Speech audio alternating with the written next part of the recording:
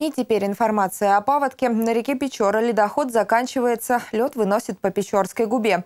Отмечается небольшой спад уровня воды ниже Нарьинмара. Такие данные представлены в гидрологическом бюллетене по состоянию на 16 часов текущего дня.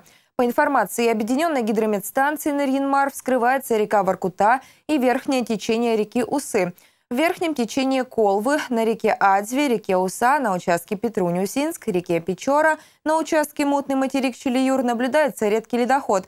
Вместе с тем в регионе уже зафиксированы первые случаи, когда граждане оказались в ледовом плену.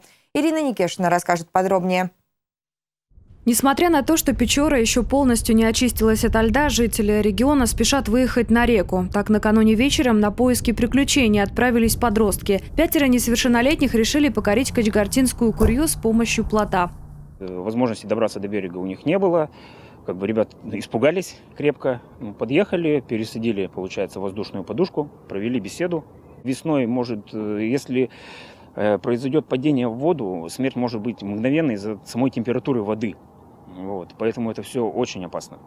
В ночь на вторник, 19 мая, помощь окружных спасателей понадобилась и охотникам. Шесть человек оказались заложниками ледяного плена. Произошел случай, это в тундровом шаре, ниже по течению от э, поселка Нельминос. В 2 часа ночи поступило сообщение о том, что э, во льду э, зажато 5 лодок, и помощь требуется шестерым пострадавшим. Шесть человек нуждались в помощи, в, в эвакуации. Вот, значит, э, также на воздушной подушке выехали к месту, где все это случилось. Э, действительно, оторвалась. Э, сначала получилось так, что одну, льдин, одну лодку зажала льдиной, вот, и все другие бросились спасать, оказывать помощь. И в это время пришло еще одно ледовое поле, которое зажало все остальные лодки. Спасатели напоминают жителям региона об опасности выезда на реку в период ледохода. Под давлением льдин маломерное судно может получить значительные повреждения и затонуть.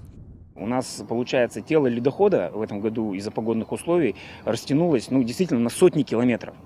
Вот. То есть, если раньше было такое, что ледоход проходил, люди где-то ждали и выезжали, вот, то в этом году, получается, одно ледовое поле прошло, более-менее вроде бы чисто, еще одно ледовое поле идет. И где, в какой момент, кого, когда застанет эти ледовые поля, предсказать невозможно.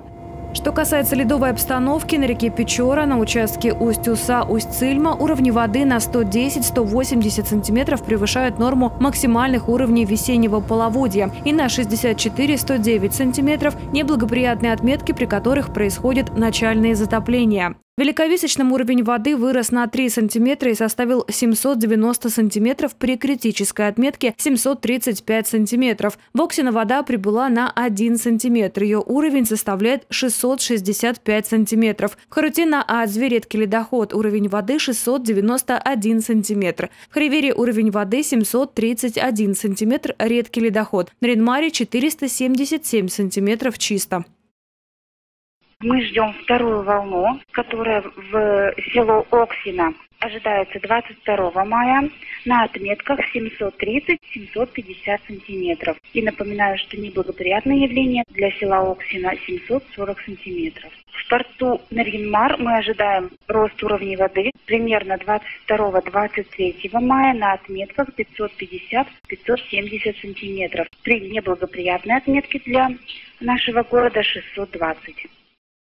В связи с прохождением высокой половодной волны на реке Печора в границах НАО ожидаются разливы на пойме у населенных пунктов Тошвиска, Великовисочная. Напомню также, что речная навигация на территории региона официально закрыта. Ирина Никешина, Владислав Ткачев, телеканал «Север».